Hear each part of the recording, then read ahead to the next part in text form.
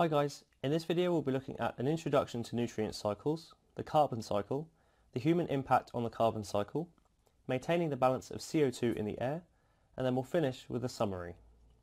So on planet Earth we have a finite supply of the nutrients, and of course those nutrients are made of atoms, so there are a finite supply of atoms on our planet.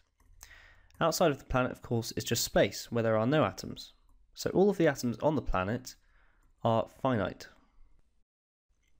What this means is that there is only a certain number of atoms in the entire planet, and it won't be changing. Therefore, the ecosystems and habitats do not have an infinite number of nutrients or atoms that they can use. So the number of atoms are finite.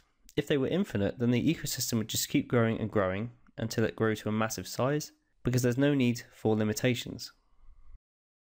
In order to keep the habitats functioning, the resources, i.e. the atoms, have to be recycled so the organic components get broken down and rebuilt to be reused. So for example, plants use CO2. But of course, the next generation of plants needs to use CO2 as well. So when they take the CO2, it gets recycled into other organic forms and put back into the atmosphere. As it's put back into the atmosphere, we get CO2 recycled, and then the future plants can use it again. So it goes on and on and on. And this is the case for many different atoms and therefore many different types of nutrient. So carbon as an atom and an element is very important for life. It's found in carbohydrates, proteins and lipids. So when you look at the molecular structure of these different types of molecules, you can see that carbon is central to all of them. For example, here we have a carbohydrate, and you can see that carbon crops up in lots of different places in the molecule. It's found as the core part of amino acids found in proteins, so it's in each of the amino acids making up the chain, and it's also part of lipids too, for example in the phospholipid bilayer. The problem is there's only a finite supply of carbon on the planet, so it has to be recycled through nature if life can continue to grow. And the way that it gets recycled is through something called the carbon cycle. So there's a finite amount of carbon in the planet, and so it has to be recycled through various processes so that life can keep using carbon to build up these important molecules. So we describe this cycle through a series of phases. First of all, animals carry out respiration to release carbon dioxide into the air. So we take in oxygen into our lungs and we metabolize at the tissues, and these make the waste product, which is CO2, and we breathe this out into the atmosphere. Plants and photosynthesizing organisms take up the carbon dioxide from the air and they use it in photosynthesis. So this aids in increasing the plant biomass. So in photosynthesis, they use sunlight and carbon dioxide with a bit of water to make glucose and increase their biomass. The plants can then be eaten by animals, so the carbon that gets trapped in the biomass of the plants gets transferred to the animals. So if you think in a stepwise fashion, the carbon dioxide was in the air, then it got taken in by the plants and turned into the plant's biomass. And then of course herbivores come along, eat the plants, and the carbon that's in that biomass gets transferred into the animal instead. So these different processes form a food chain and eventually they will all die and be decomposed by detritivores. And the detritivores also respire to release carbon dioxide back into the air. So everything will die eventually, so animals and plants. The matter that they leave behind on the ground gets eaten up and digested, and eventually the detritivores carry out respiration for their own processes, and the carbon dioxide will be released into the atmosphere. If the plants aren't eaten by animals, the plants can die and either decompose or fossilize. Animals can also do the same as this, and they fossilize into what we call fossil fuels.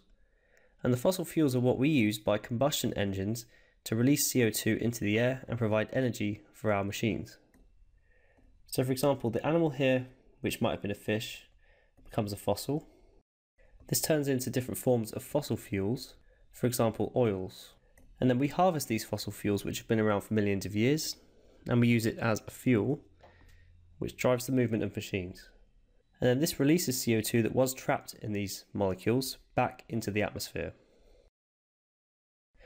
The carbon dioxide can also chemically react with water in the air, so for example in the rain, and this forms carbonic acid. And when the acid combines with the rain, we form acid rain, which can erode limestone and other types of stone statues, releasing more CO2 into the air. So to sum that up in a diagram, we can have carbon dioxide in the air forming carbonic acid with water in the air. And then when it rains, the rain brings the carbonic acid down. So we call this acid rain. It erodes certain materials like limestone, and then this brings back out the CO2 again into the atmosphere. So it forms a kind of cycle. So the entire cycle with all of these processes can be shown diagrammatically. So it looks complicated, but each of these is only covering the steps we've talked about in this video. So for example, animals and plants both undergo respiration to release CO2 into the air. Animals can eat plants, and obviously the material going from the plant to the animal contains carbon. Both of them can die and end up being broken down by detritus and humus and waste, or organisms that feed on this. They decompose, releasing CO2 to the air as well. And of course, fossil fuels come from dead plants and dead animals, which can be combusted to release CO2 again. But plants also take CO2 out of the atmosphere in photosynthesis, and that's the only real process that takes CO2 away.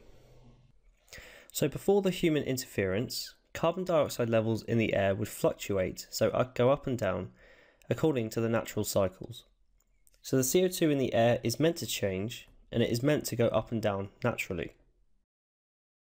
But it seems that human activity is affecting the balance of CO2 in the atmosphere.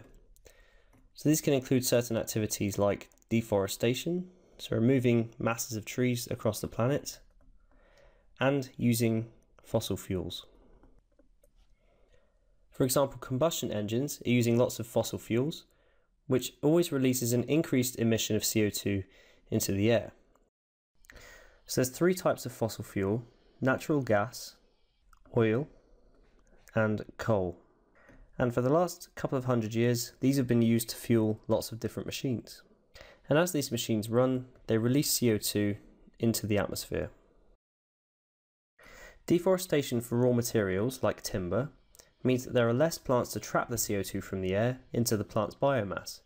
So this is also increasing the levels of CO2 in the air. So normally the trees would take CO2 in and store this as their biomass in photosynthesis.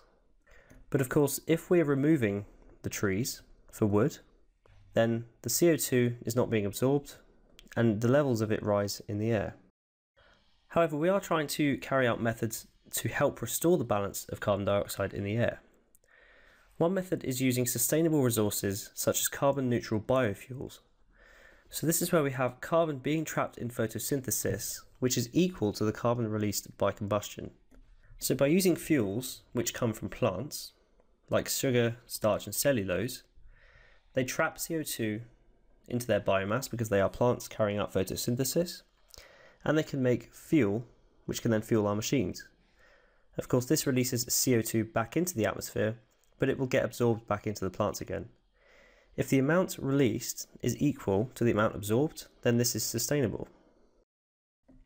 We can also try reforestation and planting on previously destroyed land to increase the number of carbon dioxide trapping organisms.